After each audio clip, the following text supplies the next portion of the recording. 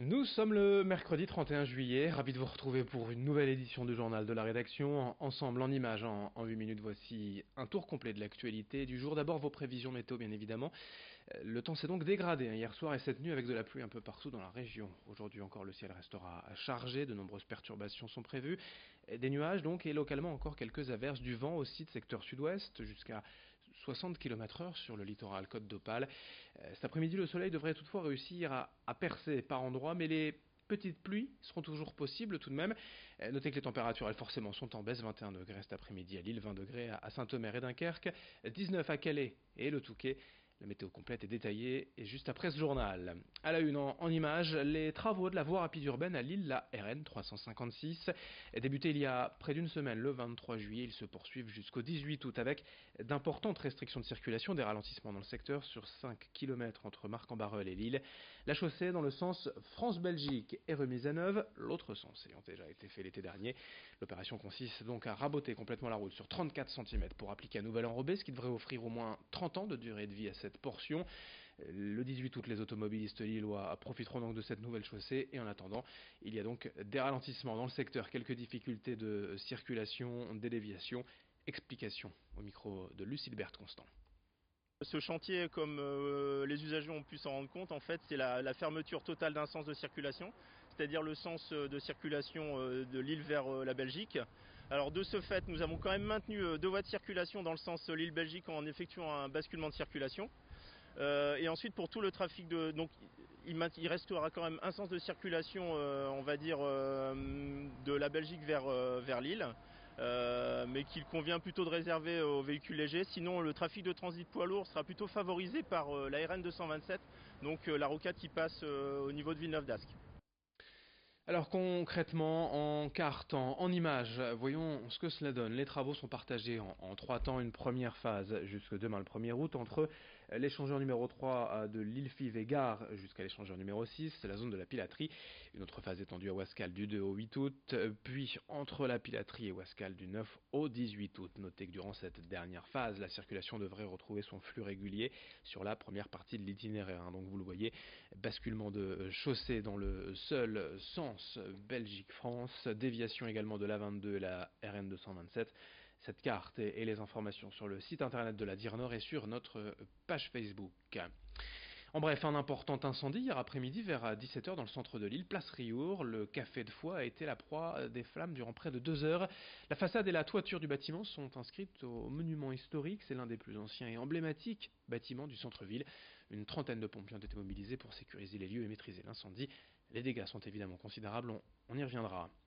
Restons à Lille pour évoquer plutôt l'embellissement hein, du Vieux-Lille, cette fois grâce à la végétalisation des rubasses et mazurelles. Depuis quelques semaines, la mairie a entamé un projet en concertation avec les commerçants pour reverdir le quartier. Précisément, c'est Colette, la chapelière de la rue Mazurelle, qui a sollicité la ville pour mettre un, un peu plus de verdure dans ces rues trop minérales à son goût. Les riverains ont été concertés, le projet a pu démarrer il y a quelques semaines. L'idée c'est de planter euh, ces fosses entre les trottoirs et la chaussée avec des essences de plantes diverses pour un mélange de couleurs et de variétés. Près de 400 fosses pourraient ainsi être installées ces prochains mois euh, dans l'île. Explication sur place recueillie par Margot Sey. On a un travail qui est en cours, qui est engagé euh, avec la mairie de quartier, des ateliers qui sont, qui sont en cours en ce moment, donc je ne peux pas vous donner de, de, rue précisément, mais qui doivent aboutir à sélectionner des, rues qui vont permettre de, créer des corridors à la fois de biodiversité euh, au regard des, plantes qu'on va y installer, mais aussi des logiques de, cheminement un peu plus apaisées, un peu plus heureux pour les, usagers qui fréquentent le Violine. Dans ce journal et au cœur de l'été, une image impressionnante. Hier, un missile V2 taille réelle s'est posé autour du blocos des Perlec. Près de Saint-Omer, une réplique fidèle à l'échelle 1 d'un véritable missile V2, ces fusées téléguidées prévues pour bombarder et détruire Londres durant la Seconde Guerre mondiale. 70 cm de diamètre, 14 mètres de hauteur. Ce projet de réplique parfaitement fidèle à l'original, c'est le gérant des lieux Hubert Demégil qui en rêvait depuis 25 ans. Ce passionné d'histoire avait l'ambition d'installer un véritable V2 sur le site même où était prévu le lancement de ces fusées. Pour cela, il a fallu trouver les plans, aller en Angleterre, voir des pièces d'origine exposées et trouver une entreprise capable de réaliser cette maquette. Le missile est donc à avoir désormais sur le site même du Blocos des Perlec. Présentation avec le principal intéressé, interrogé par Louis Caillé. Alors ça correspond exactement à ce que je voulais faire. Euh, il manque la table de lancement qui va arriver prochainement, on va dire peut-être l'année prochaine. Donc on l'a posée euh, sur des pieds momentanément en attendant cette table. On va prendre un peu de repos.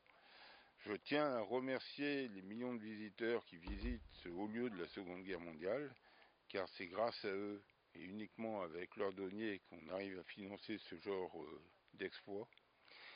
Et pour info, on a 75% d'étrangers ici à Éperlec.